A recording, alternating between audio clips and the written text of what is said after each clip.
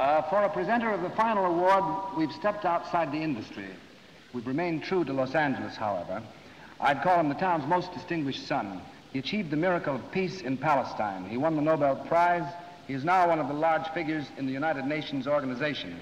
It is an honor for all of us to hear from Dr. Ralph Bunche.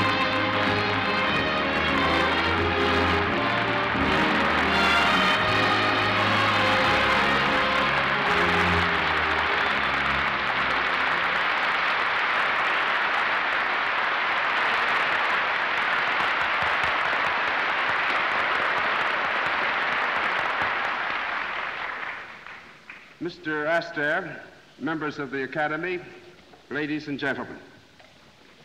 It seems to me that there is little, if anything more, that needs to be said tonight.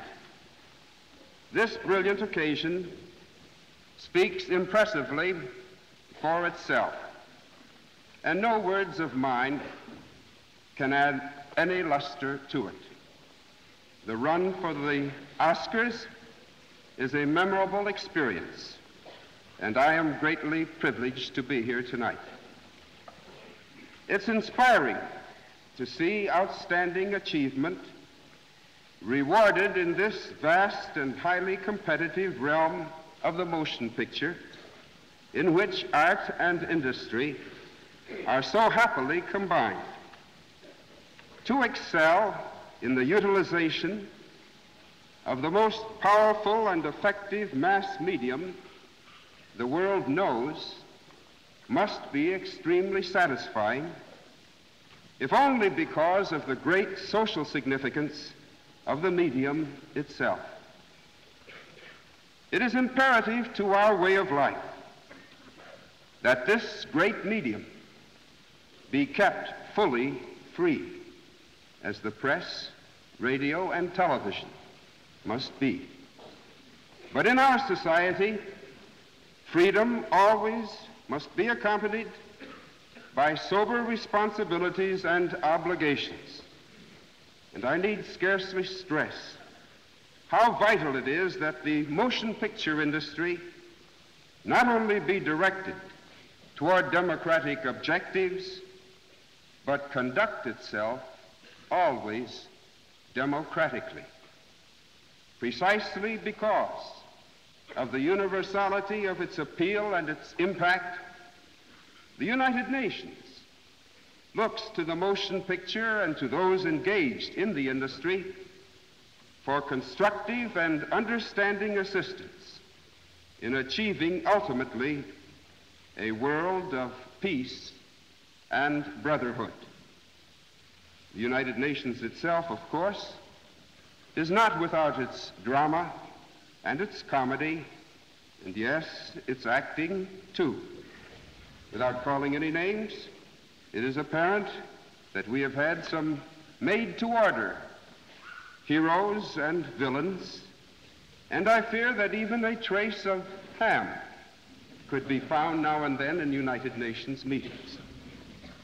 We in the United Nations are bold enough to believe that with persistent and undismayed effort, and with the help of people of great goodwill everywhere, honorable peace can be achieved and secured, and brotherhood can be made to have everyday meaning in the lives of all men.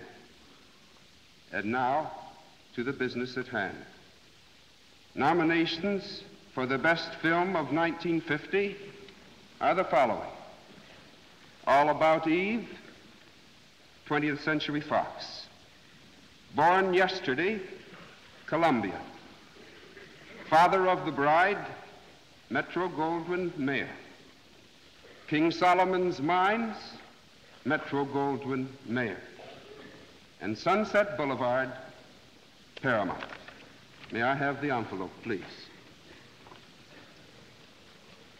I am happy to announce that the winner is All About Eve.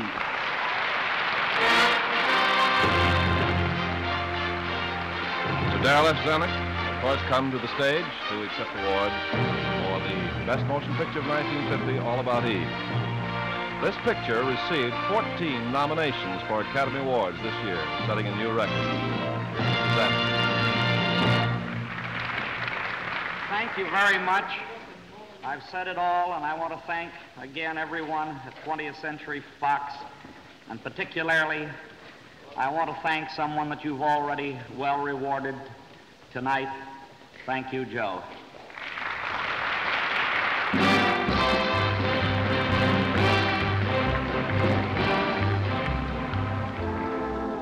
It's time for the trumpets to sound the long salute to the film achievements of 1950. The Academy thanks you in the audience and you listening over the air for your interest in good pictures. It is a high privilege to serve you. Good night.